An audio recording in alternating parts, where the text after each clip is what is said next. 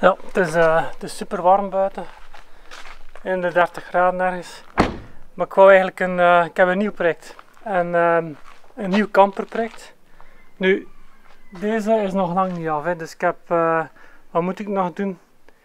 Ik moet vooral die zetel vooraan moet nog vervangen. Ik moet ook nog door zo ook een meer luxueuze single seat, zo'n pilotstoelen zo eigenlijk gelijkaardig aan die andere. Maar daar heb ik een afspraak met de garagist voor, maar die is in verlof nu. Dus dat is pas in september. En dan moet ik ook nog um, het uh, stapelbed voor de kindjes maken. Dat zijn de belangrijkste wijzigingen dat ik nog moet doen aan deze. ik heb nu, um, ik ga denk ik ondertussen, omdat ik een beetje vast zit met een dien op dit moment, heb ik iets nieuws bedacht. Een uh, klein camperprojectje. Eigenlijk allemaal hierop gebaseerd. En dat is, uh, ik zal het proberen laten zien, dat is eigenlijk een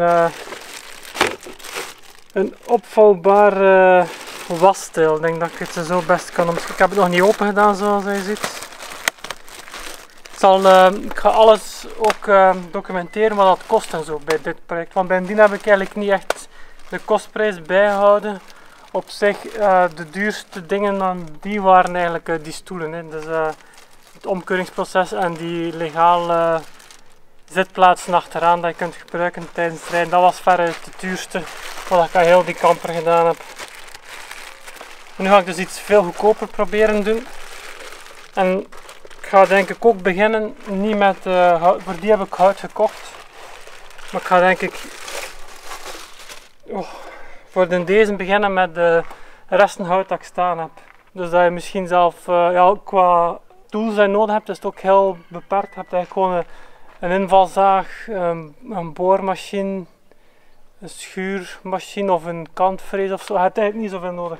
Maar dit projectje gaat hier rond, hierop gebaseerd zijn. Dus eigenlijk een, een opvouwbare uh, wasbak. Daar komt het eigenlijk op neer. Het is op Amazon dat ik het gevonden heb. Normaal doe je dat niet met je knieën, maar ik ga het even proberen met één hand. Je kunt dat zo verschillende niveaus naar boven vallen. En dan heb je een pombak eigenlijk. Hè. En hier zit dan zelf een stop. Waarmee dat je met een, een dichtering, een dichting, waarmee dat je dus uh, het water kunt laten lopen. Zo is het dicht. En daar kun je een afvoer op aansluiten of je kunt er gewoon... Uh, het, gaat, heel eenvoudig zijn. Ik ga de koelbox hergebruiken die in de camper staat. Op 12 volt gebruiken we die. Ja, dat heb ik al, dat kun je niet missen in een kamper. Een koelbox heb je nodig, zeker met zo'n temperatuur, anders kun je niks van eten meenemen.